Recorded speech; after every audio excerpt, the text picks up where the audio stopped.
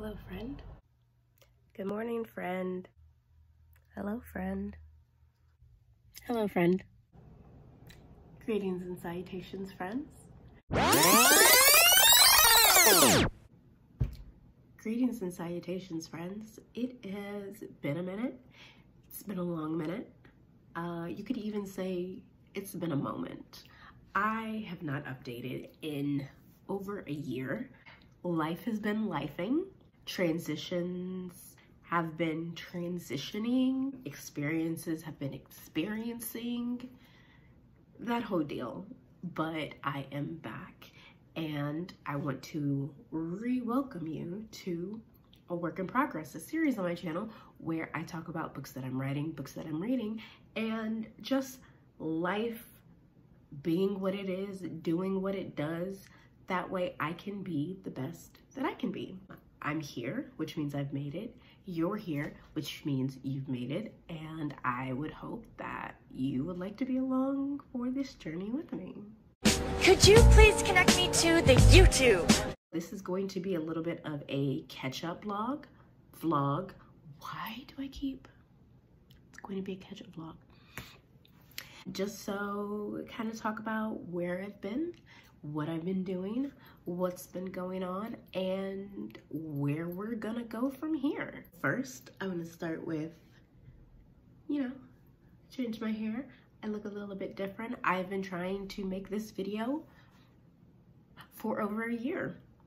As you can see from that little intro, I've gone through some changes. I've gone through some changes, one of them being I cut off all of my hair and I dyed it blonde. This is not the first time I've big chopped, but this is definitely the longest that, that I left it this short. And bleached blonde, it's a look. It's a vibe. It's got a certain je ne sais quoi. And I think it's here to stay. We'll see. I like to switch things up. So, you know, maybe my next video I pop on a wig. Maybe my next video my hair is bright pink. Who knows? But your girl is feeling it. Like I said, it's a look. It's a vibe. It's giving what it needs to give. First, I am to start with this. I am in a little bit of a different place since the last time I posted a video. Let me not bury the lead. I moved. I made a very big location change. I used to live in South Carolina and around this time last year, I actually moved to the DMV.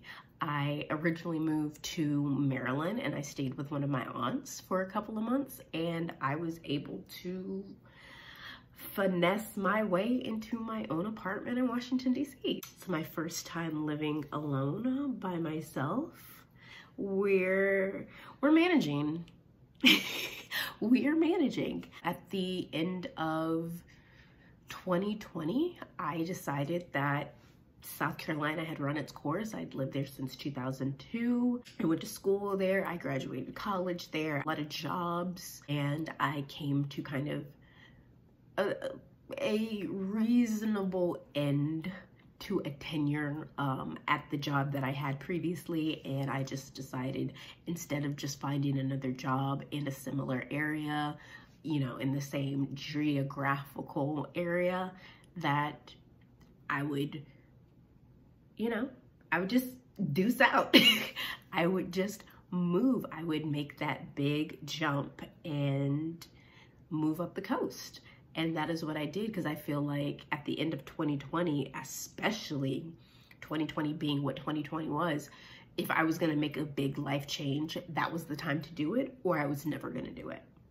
Am I going to live in DC for much longer? No. Traffic, parking, I'm, I'm probably gonna move back to Maryland, but I can always say I lived in DC. I had my own DC apartment. I was actually born in Washington, DC. So being able to move here as an adult and experience it as an adult, um, I mean, it's an experience. I don't know if I signed up for this, but I'm here. I actually kind of had a false start before I decided to like move. So I was working a job with county government, kind of elevated into a position right above um, admin assistant. And, you know, I was kind of, it was like, I was trying to get my groove. There was a lot of BS going on, but as as such. This is capitalism. This is the society that we live in. You're to find BS no matter where you go. But I had somebody sort of proposition me. I don't like using that word. It sounds very sexual. It was not of that nature, but somebody presented me with a potential opportunity to divert my career path at the time into something that I never thought about, but I was actually really interested in. So the guy who was kind of the director over the local chapter of the Veterans Administration in the county that I was working in kind of presented me with an opportunity to come, you know, kind of transfer to his department, be an admin assistant for a while with the potential opportunity to do the training and do the testing to get I guess, my credentials to become a Veterans Administration counselor. I wasn't really interested in just becoming an admin assistant in a different department because I was already doing like above admin assistant stuff and I was just like, don't try to have me transfer and then I lose my pay and I get paid less than what I was getting paid and I was already getting less, I was already getting paid less than what I was worth but I think he could see that I wasn't really like digging it when he was presenting the opportunity of becoming an admin assistant for his department.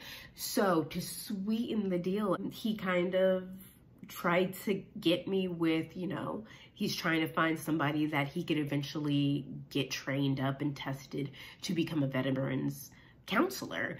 Um, and it, it'd be even like two birds, one stone type of thing if it were a woman because the department was, they only had male counselors and there are female veterans who would probably be more comfortable talking about their experiences and getting resources from another woman, from a female veterans counselor. So I hadn't thought that that was an opportunity that was like a career path I could go down. Me being a military brat, I don't know why I didn't think about that, but I'm very, um, I'm very passionate about our veterans and how they're treated. And so actually came up here to Maryland that Thanksgiving to visit my family. I talked to my uncle who was in the army for 27 years. And I was like, hey, do you think this is like a decent opportunity? Do you think I have the like disposition to handle something like this? And, you know, he, you know, responded very positively um, about, yeah, like, you know, you're going to hear about some, you're going to hear about some stuff. And then there's some stuff you're not going to hear about, but you're going to have to deal with it because of you know, PTSD and things like that. But, you know, he was like, very encouraging. So after Thanksgiving, I came back to work and I emailed the guy and I was like, hey, you know what? I thought it over and yeah, I am interested in possibly transferring to your department with the intention to hopefully at some point become a Veterans Administration counselor.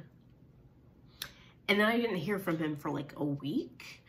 And then he emailed me back and basically was just like, hey, I do just want to clarify that um, there's no guarantee about like becoming a counselor type of thing. It really is just an admin assistant position. But also at the beginning of the year, we're going to post the role publicly, like externally, and you can go ahead and apply that way. And if you're a good fit,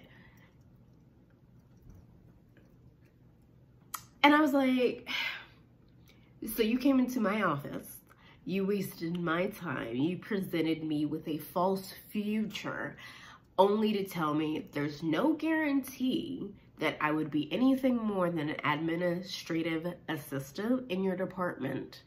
And then also that I would not be able to transfer internally. I would basically have to compete. I would have to interview with other normies outside of the organization for an admin assistant role.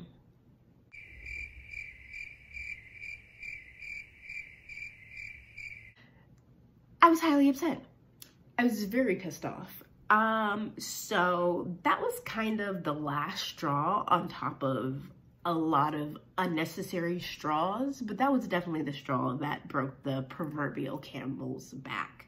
So within like a week's time after that, I didn't, I never responded to the guy. Um, but basically within a week's time, I was like, I'm moving. I really thought that I was going to have, maybe not the role that I had, but I would be with the organization for a significant amount of time. Like I could have seen myself settling down there, getting a house there. I mean, once it got to the point where they paid me enough to be able to afford to live there. But after that, I was just like, I'm done so. Like I'm over this. So yeah, within a week, I decided that I was going to move. And because I have family up here in Maryland, I was like, I'm gonna move to Maryland. I deuced out completely. That was tough. That was tough because I really thought I had a future uh, there. Maybe not necessarily with the organization, but just regionally, I thought, you know, my family moved to move to South Carolina when I was like 11 years old and I really hated it mainly because I grew up in San Antonio, Texas. So I'm like, there's so much more to do in San Antonio, Texas than there was in small town South Carolina. But as long as I had been there, I'd kind of found things worth being there for. So I did kind of see myself like I could I would have been okay with continuing to be there. Um, and that was really, I was just like, ugh. I was able to, you know, get a, a, pretty decent job. Like I like what I do. I make a decent amount of money, enough money where on a single income I can live in Washington, D.C. Um, so yeah, it's that's been a very big uh, transition. One with moving to a brand new location where I could not really fall back on who you know, which is very much a small town southern type of thing. It's just like, oh, well, it's not so much can you do the job, it's who do you know that can vouch for you? Who do you know that can help you get your foot in the door? Very much still an old boys type of club. So definitely moving up here and being able to secure to secure a very good uh, job is really a blessing. Like it's a, been a godsend. It's not been without its stressors. Um, but I can't ever say that I didn't try. I didn't attempt. Um, and so, yeah, moving's been a very big thing. Work has been a very big thing. Another very big transition that I've made is relationships. I don't really talk about it on social media. I hadn't really talked about it a lot on social media, not just like on my very the very beginnings of my channel but even uh, facebook um, twitter instagram anything like that i've never really like openly openly talked about it but i was in a relationship for five years. I was in a i was in a long-term relationship for over five years. Most of it was long distance. At some point during the relationship my ex my ex went into the military. So that definitely made the long distance aspect of it even more prominent in the relationship. But that relationship came to a screeching halt in October. And this was a person that I thought I would spend the rest of my life with. I was gonna marry, we were gonna have kids, the whole friggin' shebang. And I came upon the knowledge, God bless my best friend, God bless my best friend, but I came upon the knowledge that infidelity was in the works on their part, not on mine. So yeah, I that was not something I had on my 2021 bingo card, but honestly, I'm gl not glad that it happened. I feel like that was like I don't know, it was a plot twist that was just kind of unnecessary. Like, really? But also, I do think that I was probably holding on to a relationship that it it did what it needed to do. I learned certain lessons by being in that relationship, but like it was not meant to be for the long haul. And I think I was holding on to something that was very actively withering and dying. And I needed I needed that final straw. I needed the thing that would have me close that chapter for good.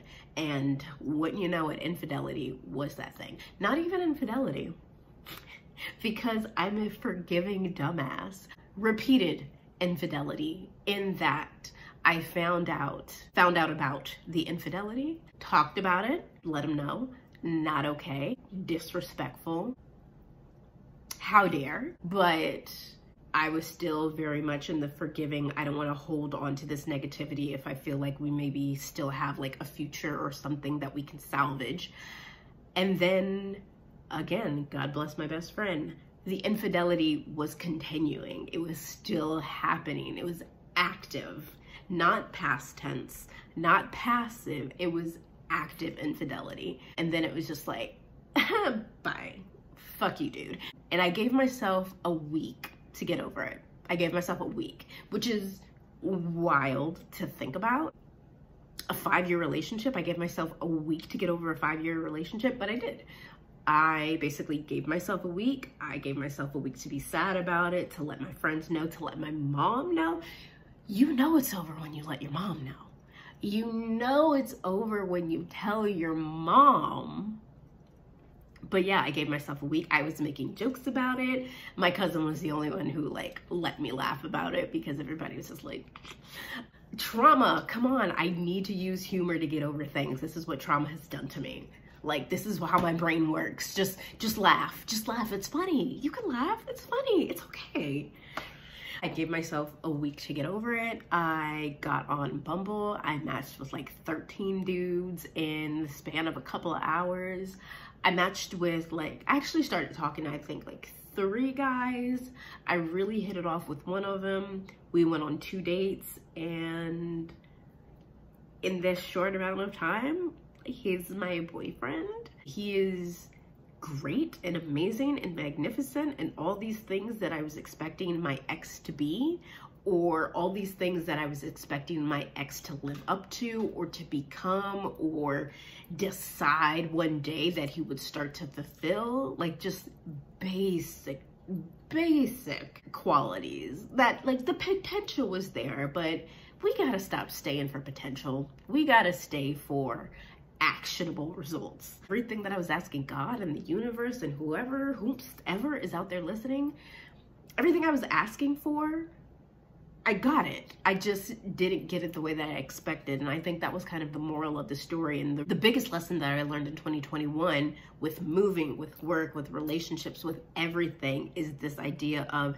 having to let go of the things that we think we want and the things that we think we need so we can get what we actually deserve. Very wild very, very wild. And also the fact that five years, I got over that shit in a week. How quality was that relationship if I was able to get over a five year relationship in a week's time? I don't know. Kind of sus.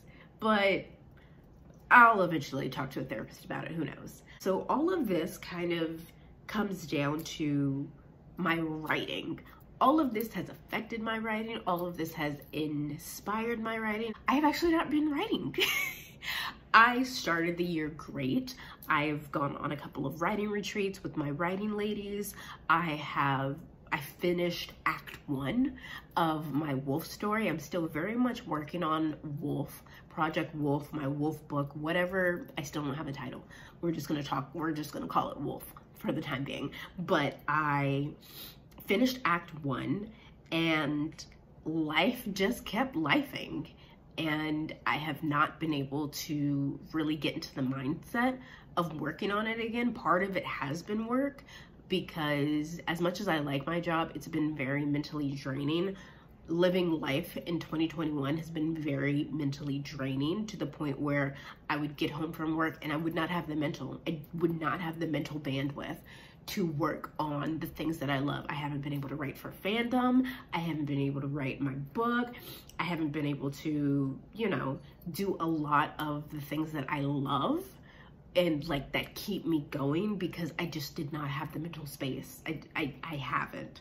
And I think that's the unfortunate thing because you know, I'm, I was making so many changes in my life. I was like, okay, yeah, once I get this switch situated, then I'll be able to focus. Once I do this, then I'll be able to write. Once I do this, then I'll be able to whatever.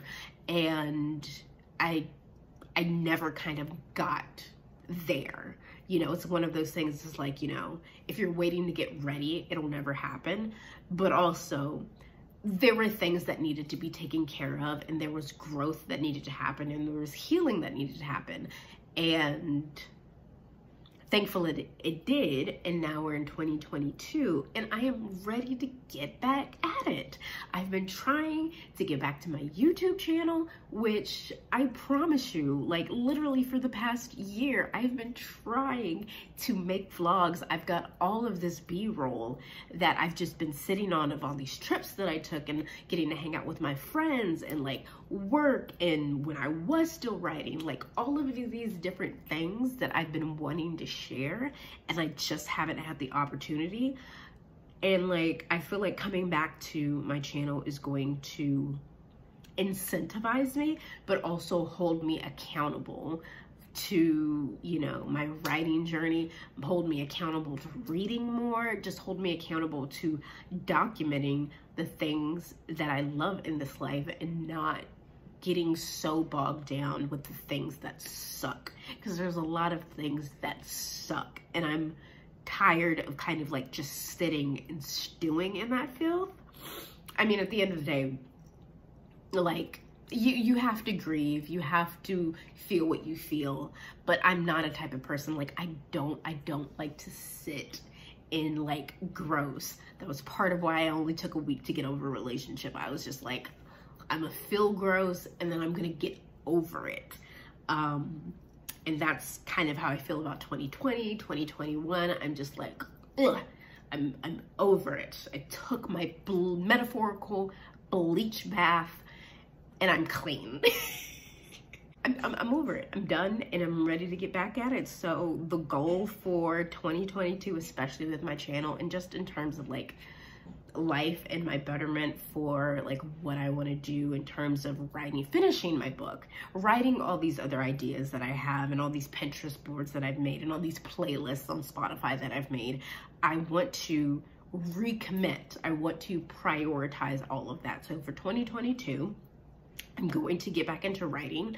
I haven't gotten a schedule yet, especially when it comes to uploading vlogs or videos or whatever I decide that I really want to do with this work in progress series. But I know for books, I have all these books. I have so many books. This isn't all the books I have. I left some of them at home, but I have all these books.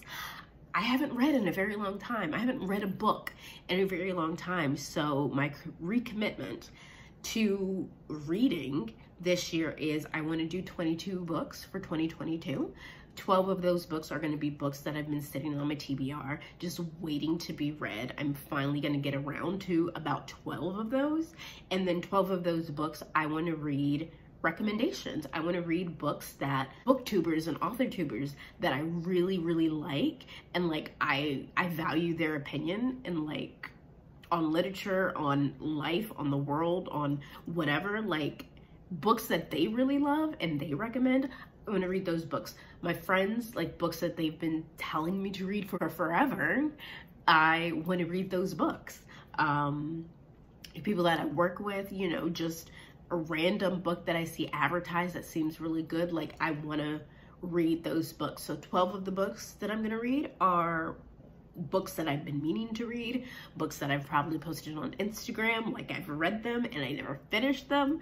I want to pick those back up and then 12 of them are going to be recommendations, like external recommendations. And then writing, I'm going to get back into it. I'm going to get back into writing Wolf more actively. I want to do some short stories of all these ideas that maybe I haven't gotten to yet and I think maybe they would be good as a novel, but I haven't gotten the chance to really flesh them out. Like I want to write like a vignette or I want to write a short story so I can get the main like meat of that idea on paper so I can kind of put it to the side and focus on something else. So I have good feelings about this year.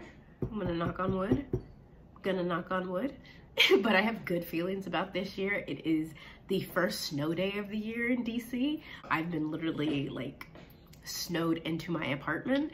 So it feels like I have no choice but to be productive and really focus on what I want to get done this year. And, you know, I really hope that you like some of what you've heard and that you decide to stick around on this journey with me. If you made it this far, thank you for watching post in the comments what you what you plan to do with your 2022 what are your book goals? What are your writing goals? What are your life goals? What are your resolutions? What are your new year solutions? What are you going to do with your 2022 i'm really interested in hearing about that and i don't know when the next video will be up but i will see you then